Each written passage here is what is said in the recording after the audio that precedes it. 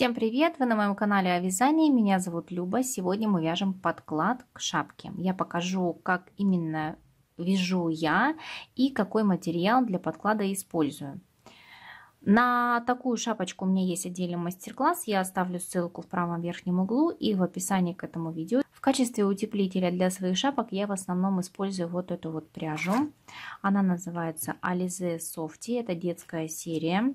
Здесь в 50 граммах 115 метров. И рекомендуемый инструмент спицы это 3-5 миллиметров. Из такой пряжи у меня связаны несколько подкладов для шапок. Вот две шапки. А, для этой шапочки у меня связан подклад из такого какого-то кофейного цвета, бежевый. Она идеально держит форму эта пряжа хорошо подстраивается под форму головы. То есть, когда ребенок одевает шапку, никаких складок нет. И э, такой утеплитель, он очень теплый. И даже в самые суровые морозы, у нас уже были и минус 30, и минус 35, э, у ребенка не замерзла голова. Поэтому утеплитель вот эта вот пряжа в качестве утеплителя, она очень теплая. И вот этой шапки уже а, вот второй сезон она используется. Вот посмотрите, как выглядит утеплитель. Ну, немножечко он, конечно, чуть-чуть скатался. Вернее, не скатался, а прижался. То есть нет такой объемности у пряжи. Но, тем не менее, эта шапка до сих пор очень теплая. И еще одна шапка. Она используется в этом сезоне, ну, буквально несколько раз потому что она без ушек, у нас холодно. И вот так вот выглядит подклад. Он еще не э, хорошо не улегся по форме головы, но тоже складок никаких нет. При надевании шапки на голову, то есть вот этих шапок, э, вот этих вот складок их нет. Вот так вот она выглядит. То есть, как вы видите, э, пряжа еще вот такая вот достаточно объемная. Такой материал я использую в шапках с подворотом. То есть вот при э, прикреплении подклада к основной шапке, вот он у нас подклад, э, вот он у нас отворот, я его разворачиваю и вот он подклад наш. Вот видите, ворсиночки такие торчат.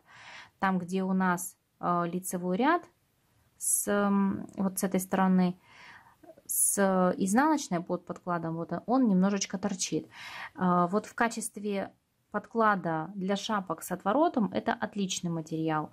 Вы определили высоту отворота вашей шапки. У меня здесь примерно 7,5-8 сантиметров. Мы зажимаем вот этот отворот. Если у вас э, провязан фиксированный отворот, вам немножечко попроще. Если такой, как у меня, отворот без фиксированного края, то я так делаю. Я зажимаю край вот он, зажала. И разворачиваю шапку вот таким образом. То есть как бы краем, низом шапки на себя. Беру нить нашу рабочую. И смотрите, если шапочка связана из очень тонкой пряжи, но у меня не очень тонкая пряжа, здесь 240 метров 100 граммов, пряжа объемная, я отступаю примерно 3 ряда от края. Вот они. То есть я зажала раз, два, три. В четвертый я начну провязывать подклад. Э, это нужно для того, чтобы во время носки шапки подклад не выглядывал из-под шапки. Вступаем 3 ряда от края шапки. 1, 2, 3. Вот в четвертый ряд мы будем сейчас провязывать петли. Находим э, лицевая петля, вот у меня здесь. Я вставляю крючок петлю и захватываю перемычку между половинками петли лицевой. И захватываю нашу нить. Я буду показывать, как я зацепляю крючком, потому что крючком полегче э, вытягивать петли первого ряда. Можно то же самое делать и спицей, как вам уже удобнее. Следите за тем, чтобы у вас ряд не смещался. Далее находим следующую петлю. Здесь у меня тоже лицевая петля идет. Смотрите, чтобы э, ряд у нас не сместился. Так, вот она. Вставляю в лицевую петлю и захватываю вот эту перемычку. Далее идут, идут у меня по рисунку, по узору 2 изнаночные петли. И я захватываю изнаночные петли. Одна и следующая. Дальше снова идут лицевые петли. Ну, думаю, вы уже поняли, как набирать, поднимать петли. Захватываем вот эту вот перемычку, вытягиваем петлю. Следующее, хватываем вот эту вот перемычку между двух половинок петли и вытягиваем. И также захватываем изнаночные петли. Раз, изнаночных чуть полегче это делать. Все, набираем петли самостоятельно, встретимся вот в этом месте. Не показала, как переснимаю петли с крючка на спицу. То есть вот я набрала, например, а, несколько петель. Здесь у меня 8.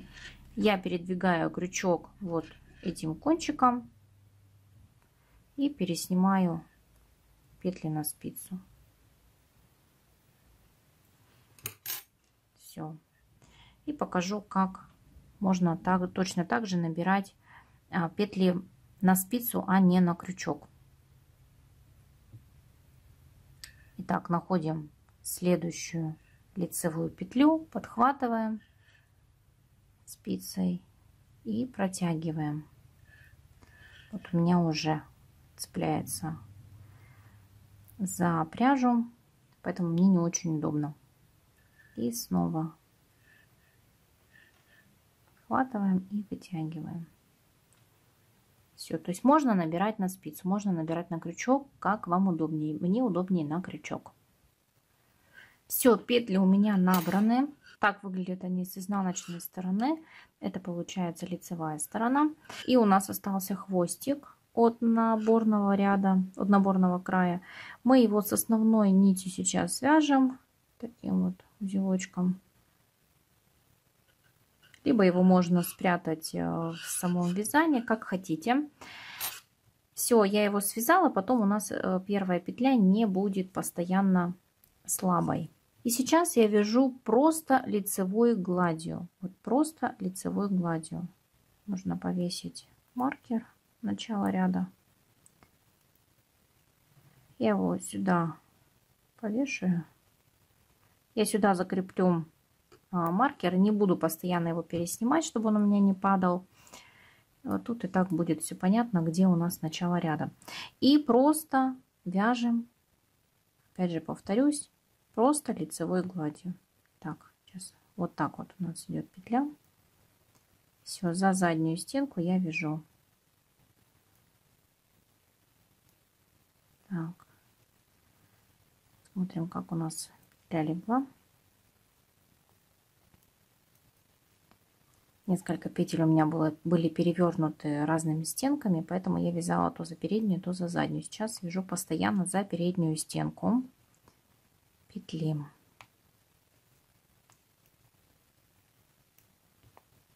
Все, вот. И вяжем так э, вот этот подклад на необходимую высоту,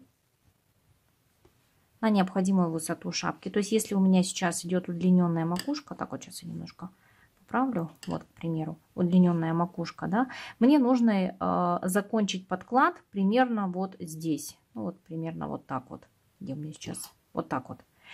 Итак, я довязала свой подклад на необходимую мне высоту. У меня это примерно 17,5 сантиметров. Я вяжу подклад на а, шапку для взрослого человека.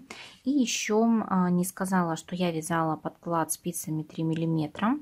И так как я вязала лицевой гладью, когда начинаете вязать а, такой объемной пряжей, то он подклад становится шире, чем сама шапка, то есть даже при растяжении. И чтобы убрать вот эту вот э, излишнюю ширину, я сделала 12 петель убавлений. То есть было у меня 96 изначально петель, я оставила, я сократила количество петель до 84 э, петель. Но это в этой шапке.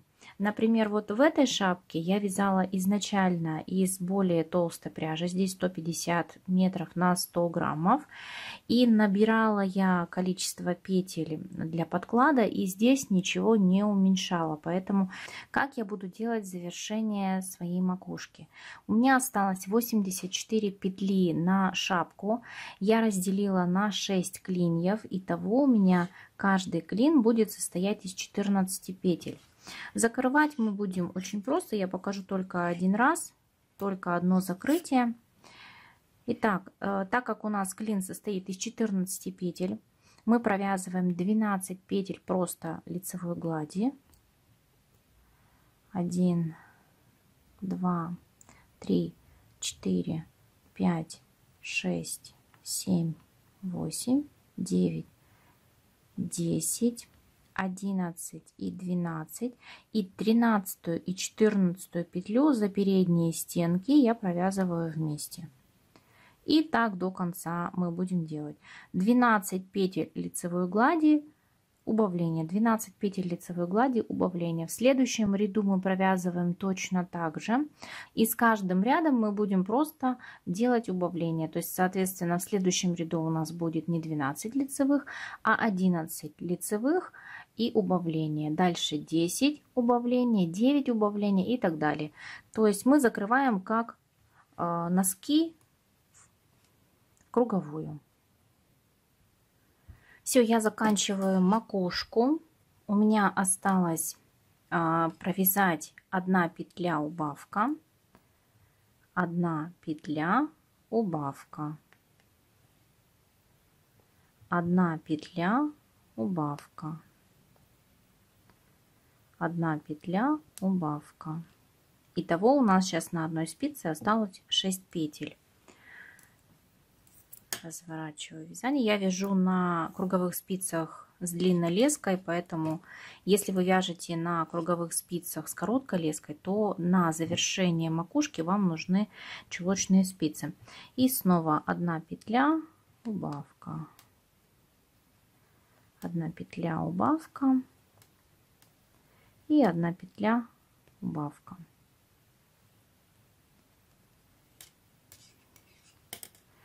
Все, сейчас у нас 12 петель. Мы э, от, отрежем нить. Кончик не обязательно делать слишком длинный. И все эти петли мы сейчас стянем вместе.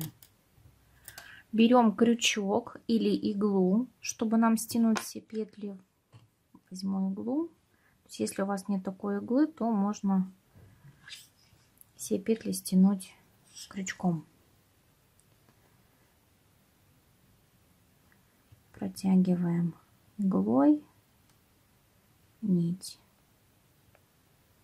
Так, и еще две. Протянули.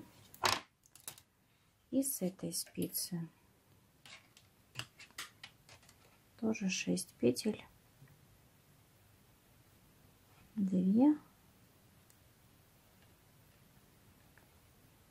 3 4 5 и 6. Итого 12 петель мы стянули. Все.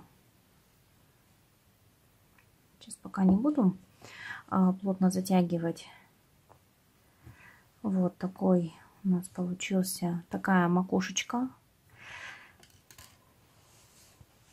Вот этот кончик нам нужно будет сейчас затянуть. То есть можно сделать узел и спрятать между основной шапкой и подкладом. Все, прячем подклад. Вот так он выглядит. Сейчас он, конечно, лежит еще неровно, но когда вы будете носить, он уже прижмется по вашей голове и никаких складок нет. То есть если вы а, сделали подклад не слишком широкий, никаких складок не будет. Вот, то есть я растянула как бы по голове и вот так он выглядит. Подклад нигде не вылазит. То есть если вы сделали хороший отступ от края, то подклад – на лицевую сторону возле лица вылезать не будет, нигде торчать не будет. Очень теплый получается подклад. Это точно проверено уже не одним годом использования таких шапок вот с таким подкладом. То есть отличная замена флисовым подкладкам. То есть я не умею сшивать флисовую подкладку, поэтому я ее вяжу из Alize Softy. Если это видео было для вас полезным, не забудьте поставить лайк этому видео и подписаться на мой канал, если вы до сих пор не подписаны.